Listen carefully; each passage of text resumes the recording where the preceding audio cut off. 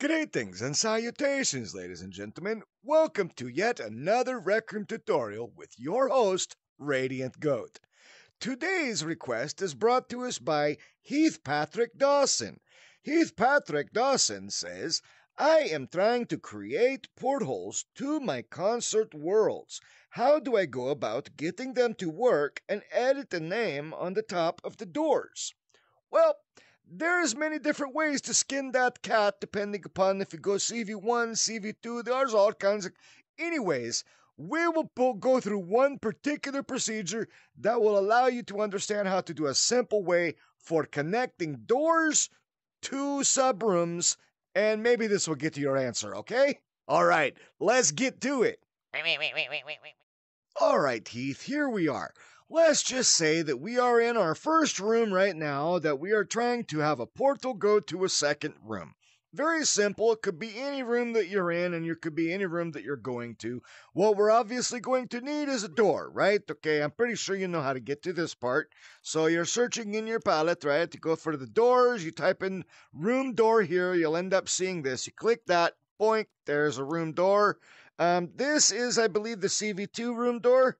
It really doesn't matter because it, both CV1 and CV2, you can use the method that I am about to show you.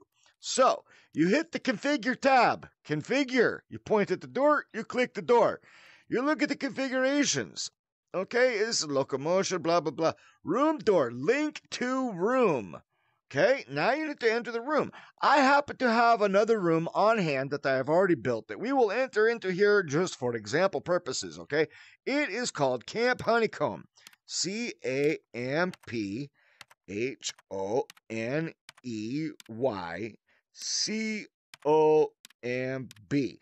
Camp Honeycomb. Okay, hit X, see us in there. Camp Honeycomb is right there. Link to room Camp Honeycomb.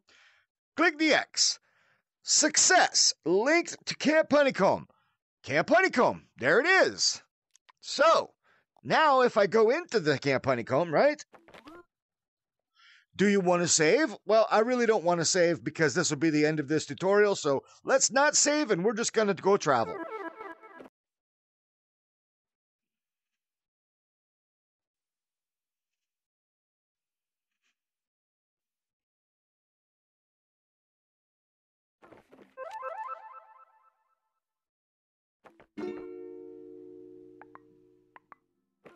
Right. It looks like you're the first one here. And as you can see, we have now entered Camp Honeycomb, right? If you like, this is Camp Honeycomb. more players arrive. Yeah, there also is another door that I have created that goes to a place called Portal Chamber. Well, let's see if there where this goes.